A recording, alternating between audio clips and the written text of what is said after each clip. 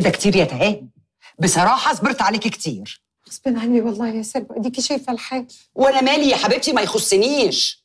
مش من سنتين لما سلفتهم لك. قلتي لي هترجعيهم كمان كام شهر لما المحروس ابنك يسافر صح ولا لأ؟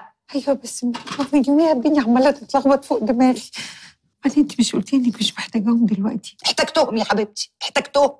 ما هي مش فلوسي لوحدي دي فلوس جوزي وعيالي. أيوه بس إحنا ما حدش اشتكالك. فؤاد! يا تدخل اوضتك يا تقعد ساكت. ماشي ماشي. حاضر. آه.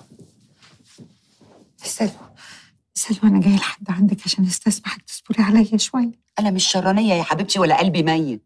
بس انت اللي نايمة في العسل وعايزة قلمين يفوقوكي. قلمين يا سلوى؟ أيوه قلمين انت أختي الكبيره آه. بس مش عيب إن أنا اديكي دروس في الدنيا علشان تبطلي هبل. اوعي تكوني فاهمة إن طيبة قلبك دي هتنجيكي. لا يا حبيبتي دي هتزود الطين فوق دماغك. وهي مزوده خلقة. بصي حواليكي وشوفي. ابنك اللي صايع في الشوارع من جمعة لجمعة.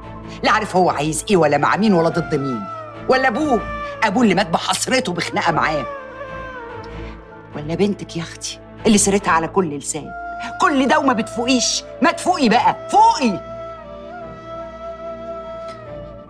ماشي يا سلوى اديني بس فرصة يومين أدبر المبلغ. حقك عليا يا أختي. تهاني. استني يا تهاني. تهاني. استني طب اشربي القهوة بتاعتك طيب. يا تهاني.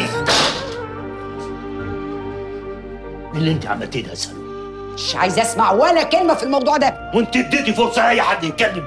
ليه كده يا سلوى؟ ليه؟ أحسن خليها تفوق. مش بالقسوة دي. البني آدم لما يلاقي واحد بيغرق قدامه بيمد إيده يطلعه الأول وبعدين يقول له إيه اللي غلط فيه؟ مش يدوس عليه لغاية ما يفرفر في إيده. هقول إيه؟ ما أنت قلبك طاري زيها هي وجوزها الله يرحمه. أنا بقى دبش وما بخافش غير من ربنا في قلت الحق.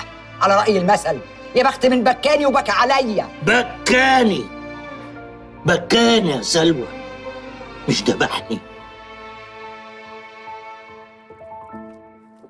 نزل التردد الجديد. 11785 الاستقطاب رأسي. معدل الترميز 27500 معامل تصحيح الخطأ 5 على 6